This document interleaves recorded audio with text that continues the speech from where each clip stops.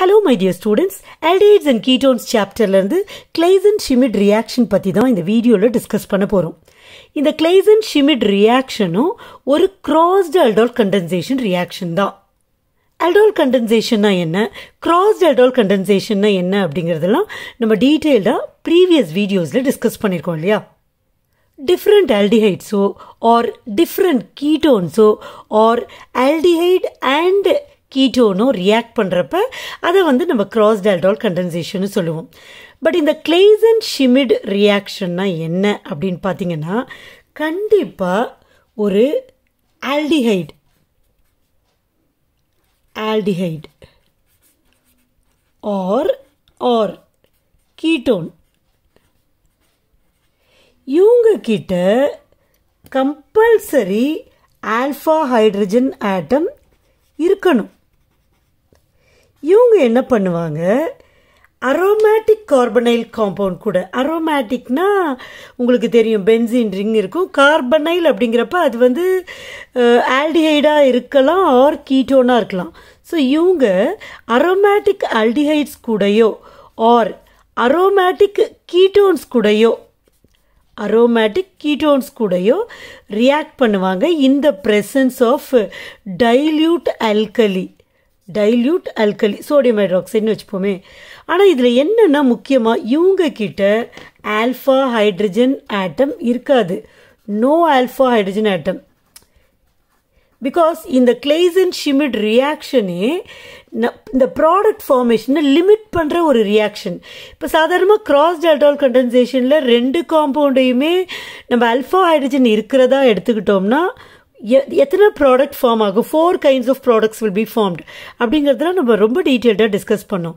So அந்த மாதிரி products form ஆனால் நம்ம இது அதனால் ஒரு யூஸும் இல்லை ஏன் இல்லைன்னா அந்த நாலு ப்ராடக்டையும் செப்பரேட் பண்ணுறது will become very very tedious one அதனால தான் அது வந்து இம்பார்ட்டன்ஸ் கிடையாது. ஸோ அந்த ஒரு நிறைய ப்ராடக்ட்ஸ் ஃபார்ம் ஆகிறத லிமிட் பண்ணுற ஒரு ரியாக்ஷன் தான் இந்த Claisen Schmidt reaction so compulsory நம்ம ஒரு aliphatic aldehyde or ketone which contain alpha hydrogen atom alpha hydrogen ஆட்டமை நம்ம எடுத்துக்கணும். ஒன் ஆஃப் த ரியாக்டன்ட் அது.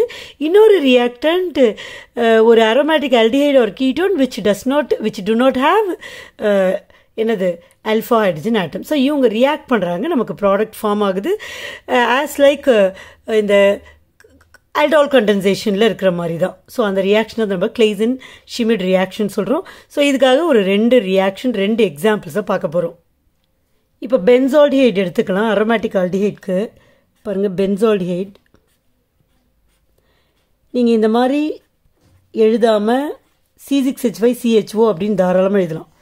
இது கூட ஒரு ஆல்டிஹைட் ஆல்ஃபா ஹைட்ரஜன் ஆட்டம் இருக்கிற ஒரு சிம்பிள் ஆல்டிஹைடை நான் ட்ரீட் பண்ண போகிறேன் பாருங்கள் CH three CH O acetaldehyde alpha hydrogen atom இருக்குது டைல்யூட் ஆல்கலி கூட ட்ரீட் பண்ணுறோம் ஹீட் பண்ணுறோம் என்ன ஆகுது பாருங்கள் ஃபஸ்ட்டு ஸ்டேஜில் இந்த ந இந்த ப்ராடக்டை ஈஸியாக எழுதலான்னு சொல்லியிருக்கேன். முதல்ல போடுற பென் ஆல்டிஹைடை நம்ம அப்படியே போட்டுற வேண்டியதான் சரியா? சிஹெச்சையும் போட்டுறேன். இந்த டபுள் பாண்டுக்கு பதிலாக ஓஹெச் போட்டுறேன். ஏன்னா இங்கே இருக்க ஒரு அல்ஃபா ஹைட்ரஜன் இது கூட ஜாயின் ஆகிடும் அப்படின்னு நீங்கள் வச்சுக்கோங்க. இப்படி தான் ப்ராடக்டை ஈஸியாக எழுதலாம். இப்போ ஒரு ஹைட்ரஜன் போச்சுன்னா மிச்சம் இங்கே சிஹெச் டூ தானே இருக்கும். ஸோ அந்த சிஹெச் டூ இது. தென் இங்கே சிஹெச்ஓ இருக்கா? சிஹெச்ஓ இருக்குது ஸோ இதுதான் ஃபார்ம் ஆகுது.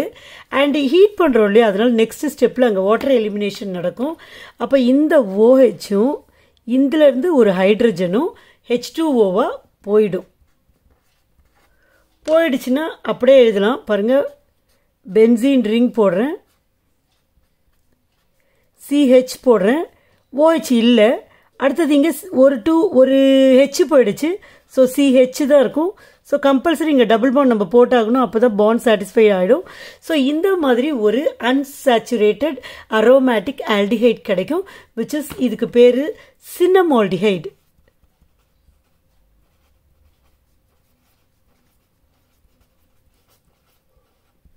ஓகே இப்போ இதுவே இந்த ரியாக்ஷனில் ஒரு ஆல்டிஹைடுக்கு பதிலாக ஒரு கீட்டோன் எடுத்துக்கிறேன்னு வச்சுப்போம். ஸோ பாருங்கள் பென்சின் ரிங் அப்படியே போடுறேன். பிகாஸ் பென்சோல்டைட் போட போகிறேன் C double bond O H plus acetone போடலாம். CH three C O CH three இப்போ இவங்க ரெண்டு பேரும் டைல்யூட் அல்கலி ப்ரெசன்ஸில் ரியாக்ட் பண்ணுறாங்க அதுக்கப்புறம் நம்ம ஹீட் பண்ணுறோம் ஸோ ஃபஸ்ட்டு ஸ்டெப்பில் என்ன ஆகும்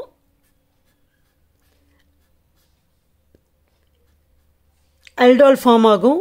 பாருங்கள் C double bond O single bond ஆகிடும் ஓஹெச் ஆகிடும் இந்த ஹெச் அங்கே இருக்கும். இங்கே இருக்க இங்கே இருக்கிற ஒரு ஹைட்ரஜனை தான் நம்ம இங்கே போட்டிருக்கோம்.